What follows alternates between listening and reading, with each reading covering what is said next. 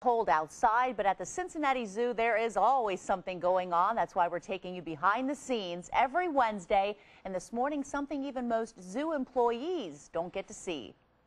Hi, I'm Thane Maynard. I'm sure you probably know that gorillas are social primates like people. They live in complex family groups.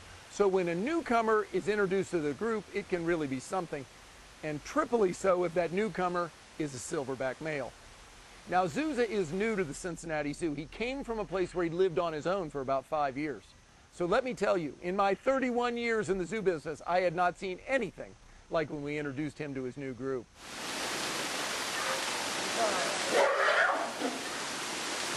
Today, though, was the first opportunity for him to have full contact with the adult females. It's very common to have um, some aggression, sometimes some pretty serious aggression.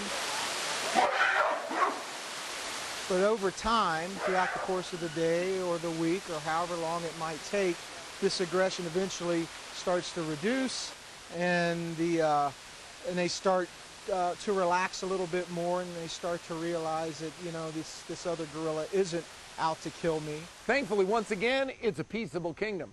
And good thing, too, because lowland gorillas are highly endangered in Africa. So it's important to keep a healthy population in zoos. At the Cincinnati Zoo, I'm Thane Maynard. Thanks, Thane. And be sure to tune in next week when we give you an inside look at the PNC Festival of Lights.